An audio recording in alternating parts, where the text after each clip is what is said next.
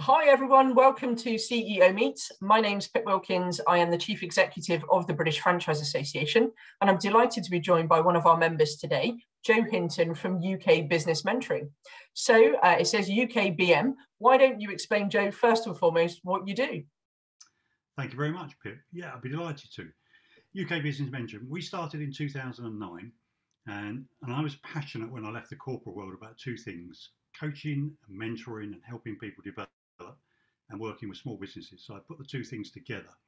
And what we do is basically we go into a business and we do a review of the business. And that covers everything from people management, marketing, financial, you name it. And we speak to, as far as possible, every single member of staff to get feedback about the business, the company, etc. And then normally a week or two later, we play that back to the business owner and we tell them the good, the bad, and sometimes the ugly about their business. and we help them then to put things right and then develop a strategy for them to take the business wherever it is they want it to go, whether that be a five year exit strategy or to take it, you know, for 15 years and then maybe sell out to the staff, um, employee ownership trust, or whatever it might be. And along the journey, we stick with them and we help them with any hurdles they have to get over and to, you know, really take them along to the exit that they want that's best for them and their family. Um, and so that mentoring and training, is that across the entire team um, of the company that you work with or more at kind of the senior CEO exec board level? Yeah, it's a good point because um, some of our clients we work just with the business owner. Mm-hmm. Many of our clients we include maybe the board or indeed other members of the team. And sometimes we'll be involved in training their staff around whatever it might be. So we tailor it to whatever the business needs. And because we've got that background in training as well, so if it's leadership and management training or sales training or whatever, we can bring that into the game as well. Okay, so you have some fundamental core values which um, are up on the screen, which I love. Um, so talk to us about those values and why they're so important to you and to the business. When I started the business, I'd come out of the corporate world. And in the corporate world, we always had the, the values were all about um, the customers being the heart of everything we do. And I'm going to be honest, in the corporate world where I was, I didn't think that was true. And it was always just a little bit of a, a badge there. So when I started my own business, I was passionate that we really do put the clients first. And integrity and honesty in everything we do is what we're all about. And we also say to clients, look, there's no long contract with us. We do business on the shake of a hand or on an elbow these days. Yeah. that lasts as long as you feel it's adding value to your business and to yourself. And if we ever do a piece of work, whether we review your business or whatever it might be, and you don't feel it's added value, then you're not expected to pay. It's a no quibble guarantee. Uh, and those are very much values that are close to my heart. And when we take on new franchisees, we explain that these are the non negotiables. We look for people who have those kind of values that match ours. And that's incredibly important to us. Fantastic. So we've obviously come out of a tough couple of years with the pandemic. What have been the kind of key trends and challenges you've seen for businesses in that time, and how have you really supported them? Yeah, I mean, go back um, nearly two years to uh, to March two years ago, um, and the pandemic hit. And you know, for many businesses, it was an absolute shock because we didn't. Well, obviously, we didn't see it coming, but even four, six weeks before, we hadn't seen it coming. So it put a lot of our businesses completely back a lot of our clients had plans, had contracts that all of a sudden dropped out.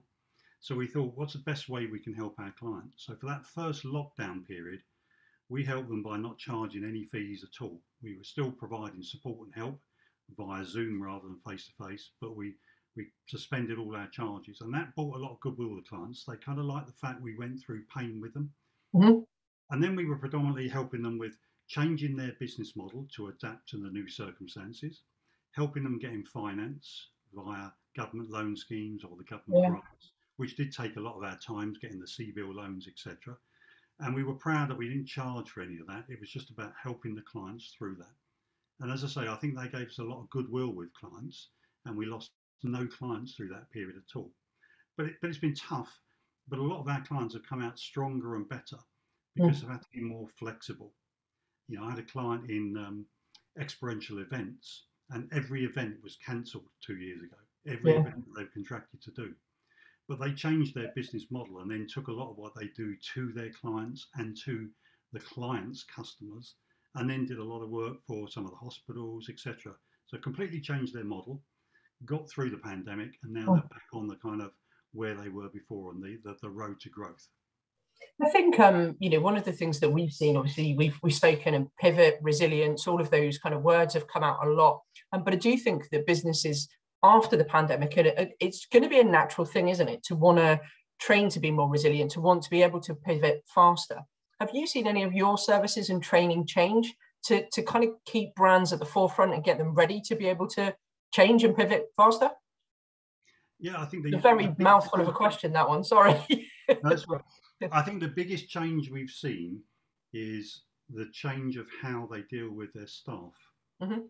Because I think throughout the whole pan- pandemic, a lot of staff went through a lot in terms of furlough, working from home, etc.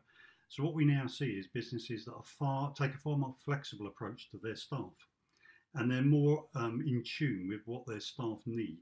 And particularly at the moment where it's so hard to recruit, you know, we've got 1.1 million vacancies across the country. Mm. So a lot of my clients find it very difficult to recruit. So a lot of what we've been doing with them is about retention, recruitment of staff, but particularly retention and what makes staff stay with you. What makes a business sticky so that people want to stay, uh, not just for a year, but for many years with that business.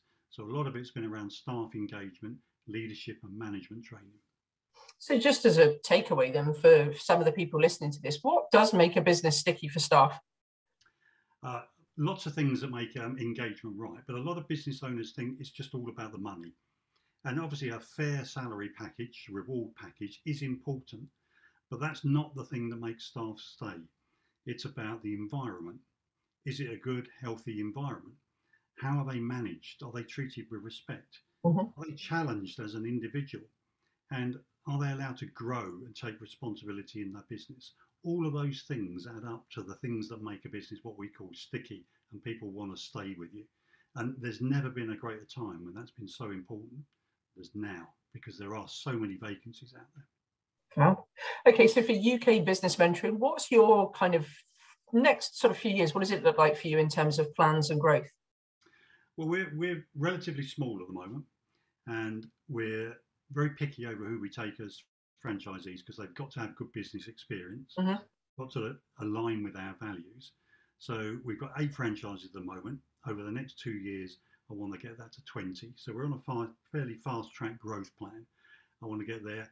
Um, after three years, I want to be at 30. And also, because we've had interest from abroad, I'd like to start thinking internationally because the kind of things we do, you know, would fit anywhere with any type of business. So two, three years growth across the UK and then start thinking internationally. Fantastic. Well, we'd love to help you on the international growth side. It's something I'm very passionate about. Um, in terms of then what you're looking for, so um, to grow, what are the key attributes you're looking for in a potential franchisee? Okay, I like to think the Japanese have a word for it, and it's called ikigai. And ikigai means, I'm sure you, you, you might have heard this, ikigai means you find your reason for being.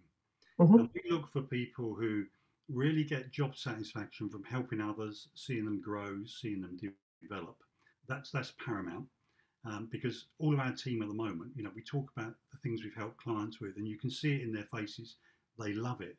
The fact you've helped somebody else grow and grow their business. Mhm. So that's kind of number one. And then behind that, we want people who've got good business experience. And that could have been in the corporate world. They may have run a business themselves. They might have been an accountant. But it's that they've been involved in an environment where they're looking at P&L, they're doing some leadership and management, etc. So kind of broad business experience. Uh, and we want people as well who are going to go out and represent the brand and do it the way that we do it. I mean, we're very um, casual, laid back in terms of how we how we deal with our uh, franchisees. You know, we tell them we're very we're here to support you, but it's your business, so you go out and develop it. But we're very close as a team. One of the one of our new franchisees recently said, he said this didn't feel like buying a franchise. He said it felt more like joining a club of like-minded people, and I really like that. The fact that we are like-minded and we're all trying to achieve the same thing. That's brilliant. Okay, my final question is one that I ask everyone that does these. Um, what would be your top tip if someone was looking to buy a franchise? What would you tell them to do?